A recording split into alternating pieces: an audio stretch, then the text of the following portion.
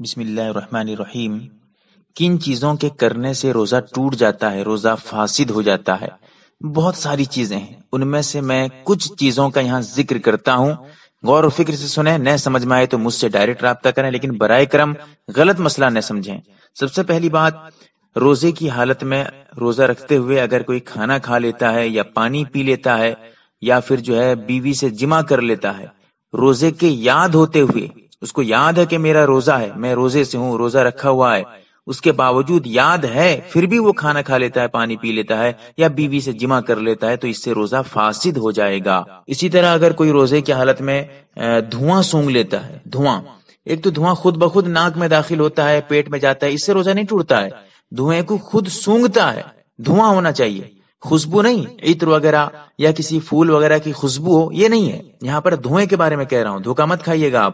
دھواں اگر ہے، جیسے کہ چولہے کا دھواں ہے، یا اگر بتی کا دھواں ہے، لوبان وغیرہ ہیں، ان کے جو دھوئیں ہیں، اگر دھوئیں کو سونگتا ہے، خود بخود اندر دھواں نہیں جاتا ہے، یہ اس کو سونگتا ہے، کہتا ہے بہت اگربتی کی خوشبو بہت عمدہ ہے، اور جا کر سونگنے لگتا ہے، اور دھواں اندر چلا جاتا ہے۔ دھواں پیٹ کے اندر چلا جاتا ہے، تو اس سے بھی روزہ ٹوٹ جائے گا۔ اسی طرح روزے کی حالت میں جان بوجھ کر قے کرنا، اور یہ قے جان بوجھ کر یعنی اپنے فیل سے خود بخود قے نہیں ہوئی ہے۔ خود بخود کا جی متلانا اور قے ہونا یہ ایک الگ مسئلہ ہے۔ یہاں پر وہ خود اپنے فیل سے قے کروا رہا ہے، قے کر رہا ہے۔ مثال کے طور پہ حلق میں انگلی ڈال رہا ہے، جس کی وجہ سے جی متلا رہا ہے، پھر اس کے بعد جو ہے وہ الٹی کرتا ہے، قے کرتا ہے۔ تو اگر منہ بھر کے قے ہو جائے منہ بھر کے قے ہو جائے اور وہ جان بوجھ کر قے کر رہا ہے، تو اس سے بھی روزہ ٹوٹ جائے گا، روزہ فاسد ہو جائے گا۔ اگر جان بوجھ کے نہیں کیا ہے تو مسئلہ الگ ہے۔ اگر منہ بھر کے نہیں ہوا ہے تب بھی روزہ نہیں ٹوٹے گا۔ اگر منہ بھر کے ہو جاتا ہے اور جان بوجھ کر کر رہا ہے قے، تو اس سے روزہ ٹوٹ جاتا ہے۔ اسی طرح کلی کر رہا تھا، وضو کرتے وقت کلی کر رہا تھا، یا غسل کرتے وقت کلی کر رہا تھا اور گرگرا کر رہا تھا، اور روزہ اس کو یاد تھا۔ روزے کے یاد ہوتے ہوئے وہ گرگرا کر رہا ہے، کلی کر رہا ہے۔ اچانک پانی اس کے حلق کے اندر چلا گیا اور پیٹ میں پانی چلا گیا۔ تھوڑے سے بھی پانی اچانک چلا گیا۔ روزہ اس کو یاد تھا۔ اس صورت میں اس کا روزہ ٹوٹ جائے گا، روزہ فاسد ہو جائے گا۔ اسی لیے روزے کی حالت میں کلی کریں تو احتیاط کے ساتھ کریں گرگرا وغیرہ نہ کریں روزے کی حالت میں، چاہے غسل کی وجہ سے ہو یا وضو میں ہو۔ بالکل نہ کریں، ورنہ خطرہ ہے کہ آپ کا روزہ ٹوٹ جائے۔ اس لیے آپ اس طرح نہ کریں۔ اگر غلطی سے غلطی سے پانی اندر چلا گیا اور آپ کو روزہ یاد تھا، تو آپ کا روزہ ٹوٹ گیا۔ اسی طرح کان میں کان میں ذرا الگ مسئلہ ہے۔ پانی ڈالنے کا الگ مسئلہ ہے۔ پانی کا مسئلہ یہاں نہیں بتا رہا ہوں کان میں۔ یہاں کان میں دوا ڈالنے کے بارے میں بتا رہا ہوں۔ کان میں اگر آپ دوا ڈال رہے ہیں یا تیل ڈال رہے ہیں، روزے کی حالت میں کان میں دوائی ڈال رہے ہیں یا تیل وغیرہ ڈال رہے ہیں کان میں، اس سے بھی آپ کا روزہ ٹوٹ جاتا ہے۔ اسی طرح روزے کی حالت میں کوئی حکا پی رہا ہے، بیڑی جو ہے پی رہا ہے اور سگریٹ وغیرہ پی رہا ہے اور اس کا دھواں جو ہے پیٹ کے اندر چلا جاتا ہے۔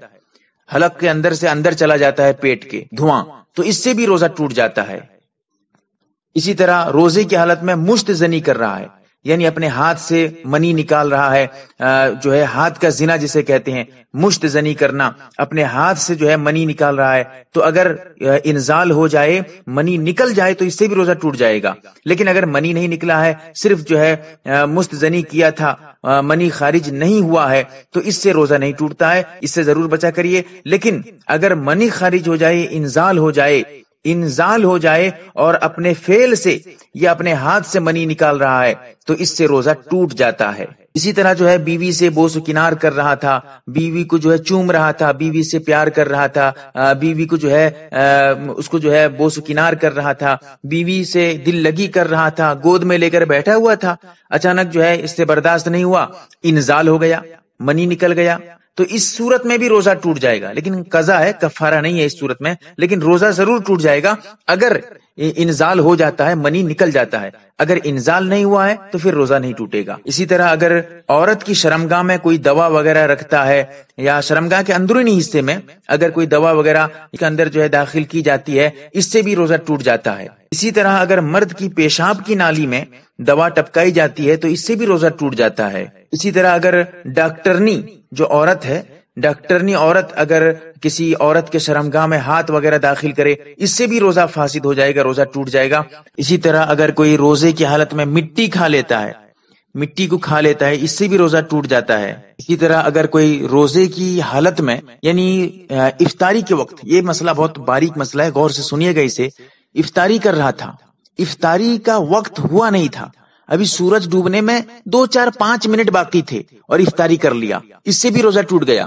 کیونکہ اگر وقت نہیں ہوا افطاری کا، افطاری سے تھوڑی سی دیر پہلے بھی، دو، تین، چار سیکنڈ پہلے بھی اگر وہ افطاری کر لیتا ہے، سورج کے ڈوبنے سے پہلے، افطاری کا وقت ہونے سے پہلے، اس سے بھی روزہ اس کا فاسد ہو جائے گا، روزہ ٹوٹ جائے گا۔ اسی طرح سحری کے وقت اگر وہ سحری کر رہا تھا اور دو چار پانچ منٹ دیر کر دیا سحری کرنے میں۔ یعنی صبح صادق ہو چکی ہے۔ یعنی سحری کا وقت ختم ہو گیا۔ اس کے باوجود وہ ایک منٹ، دو منٹ بھی دیر کر دیتا ہے۔ تھوڑی سی دیر بھی کر دیا کھانا پینے میں یا کھانا کھا رہا تھا، پانی پی رہا تھا۔ تھوڑی سی دیر کر دیا صبح صادق کے بعد بھی یہ سمجھتے ہوئے کہ ابھی لگتا ہے وقت نہیں ہوا تھا۔ ابھی لگتا ہے اور تھوڑا ٹائم باقی ہے۔ یہ سمجھتے ہوئے کھا لیا، پانی پی لیا۔ بعد میں اسے پتا چلا کہ ارے، میں تو ایک منٹ دیر کر دیا تھا۔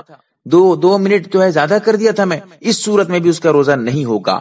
بہرحال اس کے علاوہ اور بھی بہت ساری چیزیں ہیں۔ میں نے یہاں پر مختصر الفاظ میں کچھ باتیں بتائی ہیں۔ اللہ تعالی ہم تمام کو صحیح مسئلہ سمجھنے کی توفیق عطا فرمائے۔ آمین یا رب العالمین۔ یم اے آر بی دینی معلومات چینل کو سبسکرائب کریں اور گھنٹی والے نشان کو ضرور دبائیں تاکہ ہم جب بھی نئی ویڈیو ڈالیں وہ آپ تک پہنچ جائے۔ ویڈیو کو لائک اور شیئر ضرور کریں۔ واٹس ایپ گروپ میں شامل ہونے کے لیے آپ اپنے واٹس ایپ نمبر سے ایڈ لکھ کر میرے WhatsApp number eight nine zero eight nine three nine three four three کو میسج کریں۔